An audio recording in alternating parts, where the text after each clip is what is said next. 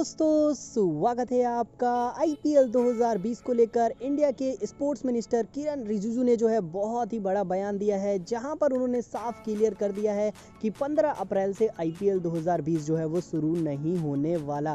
क्या कहा है दोस्तों? उन्होंने आपको बताएँगे इस वीडियो में तो अगर आप भी आईपीएल के फ़ैन कर रहे हैं आईपीएल 2020 का इंतज़ार तो इस वीडियो को एक लाइक ज़रूर करें। और दोस्तों, आपको क्या लग रहा है कि आईपीएल 2020 हमें देखने को मिलेगा या फिर कोरोना वायरस की वजह से हो जाएगा रद्द? आप अपनी राय जो है कमेंट कर कर ज़रूर दें। दोस्तों, उनतीस मार्च से शुरू होने वाला आईपीएल 2020 15 अप्रैल तक के लिए जो है पोस्टपोन कर दिया गया है। और यहाँ पर आपको बता दें कि कई लोगों को ऐसा लग रहा था कि 15 अप्रैल से आईपीएल 2020 शुरू हो जाएगा तो आपको बता दें कि ऐसा कुछ भी नहीं है। 15 अप्रैल के बाद जो सिचुएशन है, उसके हिसाब से शेड्यूल को दोबारा अनाउंस किया जाएगा।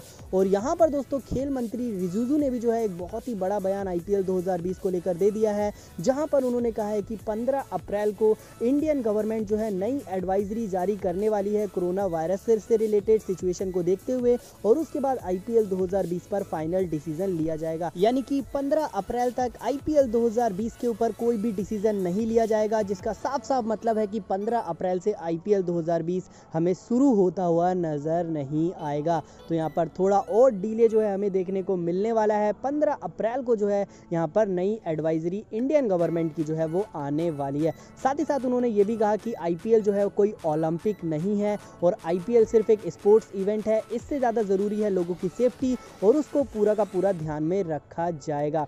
तो ये बहुत ही बड़ा बयान यहाँ पर इंडिया के स्पोर्ट्स मिनिस्टर किरण रिजिजू ने जो है आईपीएल 2020 को लेकर दिया है। और अब देखने वाली बात होगी कि आने वाले समय में हमें किस तरह की अपडेट्स जो है वो यहाँ पर मिलती है आईपीएल 2020 से रिलेटेड। दोस्तों, ये बहुत ही बड़ी अपडेट निकल कर आ रही थी जो कि हमने आपको दी। आशा करते हैं वीडियो आपको पसंद आई हो। अगर पसंद आई हो तो लाइक करें, शेयर करें और अपडेट्स पाते रहने के लिए चैनल को सब्सक्राइब कर कर बेल आइकन को ज़रूर दबाएँ।